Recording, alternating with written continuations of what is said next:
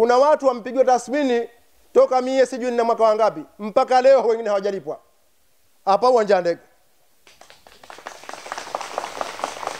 kwamba nikitaka nijue tu kwamba ardhi ni mali ya serikali. Aliyesema hivi ni nani? Ilikuwa tunataka majina tu basi. Hayo yamejiri baada ya viongozi wa serikali ya mapinduzi ya Zanzibar kufika katika kijiji cha Furaha, Mvumoni na Mfikiwa, wilaya Chake, mkoa Kusini Pemba, katika kuzungumza na wananchi hao juu ya suala zima la upanuzi wa kiwanja cha ndege kilichopo kisiwani Pemba na kuwa kiwanja cha kisasa kisiwani humu. Katika tathmini ambazo zachukuliwa na serikali juu ya utanuzi wa kiwanja cha ndege Pemba ambao ni malengo ya kukuza uchumi, tunapokea sisi Wazanzibari, tunapokea sisi wanashehia za Furaha na Mvumoni na Mfikiwa kwa mikono miwili, kwa sababu bila maendeleo, bila ya, ya, ya miundombinu hakuna uchumi nzuri.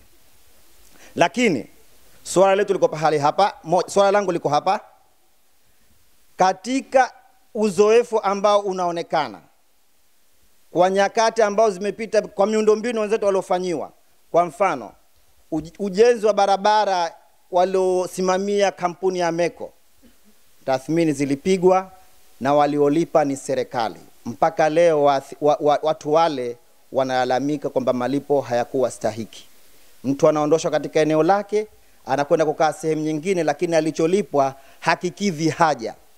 Hofu yetu na suala letu kubwa, watu wa shehia Mvumoni na Mfikiwa, katika utanuzi wa kiwanja hichi cha Pemba, mlipaji ni serikali ama ni kampuni? Sasa leo ime imenyukuliwa kwamba ardhi haimo, utulivu haupo. Utulivu huu wa wananchi haupo tena. Ile tuelezane kabisa, asili ya kukaa kimya kwamba tuliambiwa yale tuliyotaka na wale waliotuambia. Leo tunaambiwa serikali ndio tulipa, siku hiyo tukaambiwa kampuni ndio takaolipa Sasa vipi hapa, tupataje utulivu? Na tulitulizwa tukatulia, leo mwatumiza msharuji kuchomea msumari katika donda hili.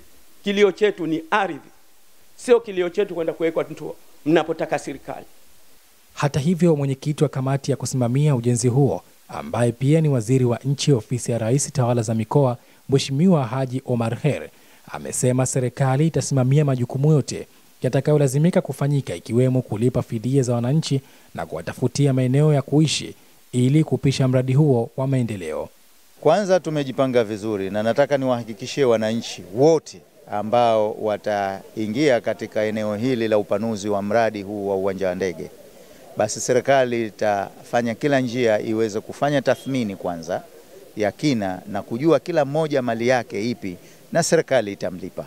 Serikali kwanza inawaomba wananchi waendelee kuwa wastahamilivu, wakae. Najua mwananchi ukeshazoea kuishi pahala, leo unakuja kuambiwa hapa panapita mradi fulani wa maendeleo, lakini tabani serikali hii haitawafukuza wananchi katika nchi yao, katika maeneo yao. Itakachofanya, inawezekana pengine serikali ikamwambia mwananchi, badala ya kukaa area hii, tunataka sasa ukae area hii badala ya kulima hapa sasa tunataka ulime hapa, lakini bado wananchi waendelee kuwa wastahamilivu na watafanya shughuli zao kama kawaida. Na huu mradi hivi sasa katika maeneo ambayo yatapisha huu mradi wataendelea kuyatumia na kuweza kujipatia riziki ili waweze kuendesha maisha yao.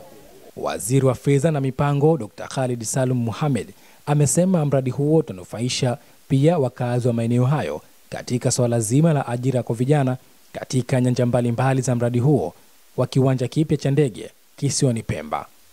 Sasa kazi itakapo itakapofanyika ndio sasa fursa zile za ajira zitakapoweza kupatikana.